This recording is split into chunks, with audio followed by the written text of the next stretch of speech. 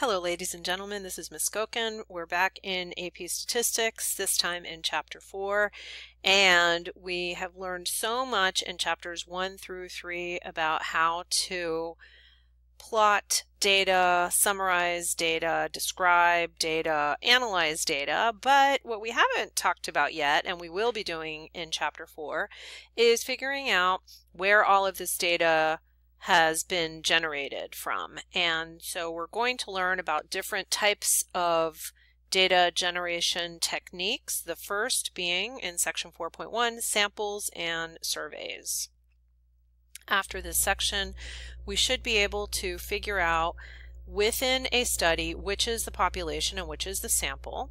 We want to talk about ways that data shouldn't be produced, namely voluntary response and convenience samples, and how data can be generated using random samples, simple random samples, and other types such as stratified and cluster sampling, and discuss a little bit about when some of them are convenient more convenient than the others. And then we also want to be able to explain uh, about undercoverage, non-response, question wording, and other forms of bias. So let's talk a little bit about a population. When we have a specific group of interest, every single individual in the group is our population.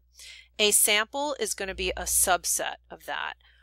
When we collect data from the entire population. So for example, let's say we wanted to find the age of every single president of the United States at inauguration. That would be a census because we would be collecting the age data from every single president. If we were looking at a subset of the population, that would be a sample of the population, and that's going to be some smaller number than all the individuals in our group of interest or our population of interest.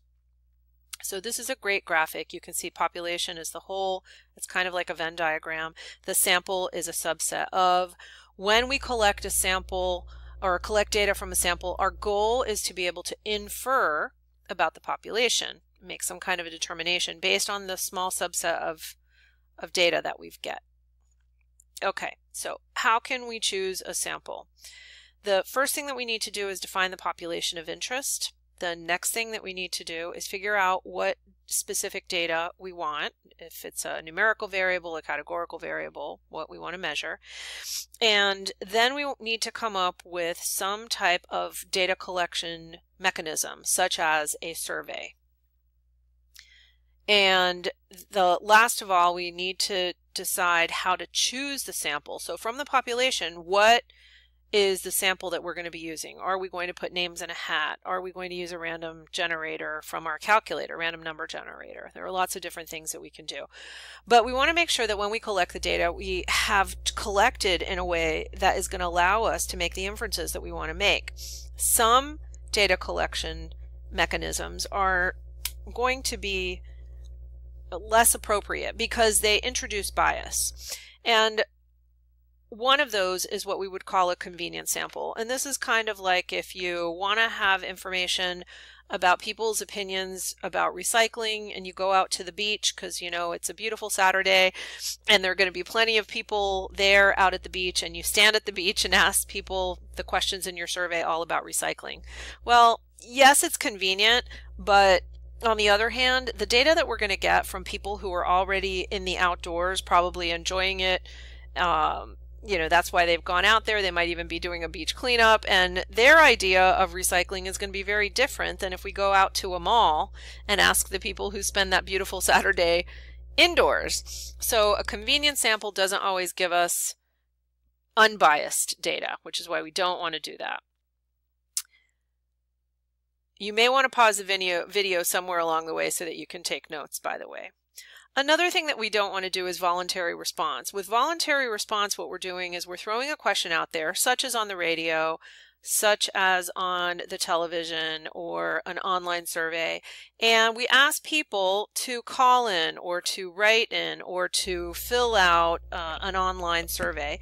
And what we find is we end up having data that is biased because the only people who voluntarily uh, represent themselves in, in these data collection mechanisms are people who have super strong opinions. So we often have very one-sided with people who have very strong opinions um, very one-sided results. And so we don't want that because we want it to look we whatever information we get from our survey we want it to be representative of our entire population of interest. And if we're only looking at the people who have super strong opinions in one direction then it doesn't look like our whole population. It looks just like that one segment of the population. So a better way of sampling is what we call a simple random sample. And uh, this involves a chance process, such as names being chosen out of a hat. That's kind of a typical of example that we keep on going to. We have something that we call a simple random sample, not just a random sample, but a simple random sample is imagine that we're going to choose n number out of our population to be included in our sample. And a simple random sample allows every individual and every group of individuals the same probability or an equal chance to be selected and be a part of the sample. So it's got to have both of those requirements, by the way, not just every individual have the same probability of being chosen, but also every group of size n have the same probability of being chosen. Now this could happen a lot of different ways. We can use a low-tech approach or a high-tech approach. But if we were going to use our calculators, we would list out all of our individuals in from whom we will be sampling and we can generate a random integer using our calculator to select the appropriate number, however many we need in our sample. If we're using table D, which is going to be given to you in test questions or in exam questions at the end of the year. We're going to start out the same way.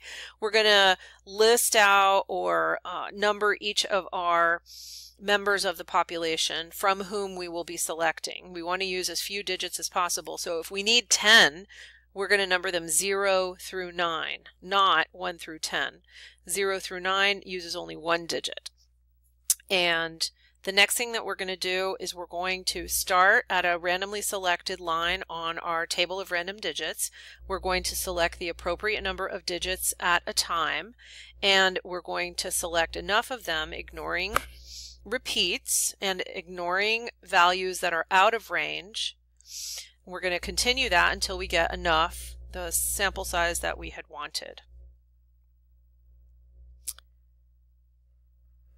This is an example about how to use table D. So we have numbered all of our different hotels 01 through 28. We need to have 28 different hotels numbered. So that means we're going to need two different digits, two digits. We're going to select two digits at a time from our random digit table, that's the line in gray. And the first one is 69, that's out of range. The next one is 05, that one is in range and represents Beach Castle. The next number is 16, also in range, that represents the Radisson. The next number is 48, that's out of range. The next number is 17, the Ramada. The next number is 87, that's out of range. Now notice, we come to 17 again. 17 is a repeat. We've already chosen the Ramada, so we can't choose the Ramada again. And every single time we have a 17, we're going to need to ignore it now because we already chose 17. Now this is not always going to be the case, but when you're representing specific individuals with this numbered list, then you will ignore repeats. So our last value that is going to be in range will be number 20, which is the Sea Club Hotel. That's how you use the table of random digits. So we have our four hotels, Beach Castle, Radisson, Ramada, and Sea Club chosen. We have something called a stratified random sample, and that one sometimes is super, super convenient. We would use this because there's a specific characteristic shared by different individuals that is meaningful to our survey. And so what we do is we start out by stratifying or separating into groups of similar individuals the population. Then from each stratum or each of those different groups that we've separated out, we're going to perform a simple random sample. When we collect the individuals that have been uh, sampled from each of the different strata, those are going to combine, we're going to be combined and that's going to create our sample. The other method that we're going to be using is called cluster sampling. And this one is often geographically based. Now, stratified can also be geographic, but the key difference is when we're doing cluster sampling, we're going to split up into groups, just like we did for stratified, but this time what we're going to do is we're going to randomly select, through simple random sample, we're going to randomly select clusters. And then we're going to survey or collect data from every individual within the cluster. In stratified, we did a simple random sample within each stratum. In cluster, we're going to collect data from every individual within the cluster. Key difference. Okay, so what do we want to gain from this? Well, we want to be able to, the whole purpose of, of performing this sampling is so that we can draw inferences about our population. So we want to make sure that we have avoided bias in selecting our samples. That's why we avoid convenience and we avoid voluntary response.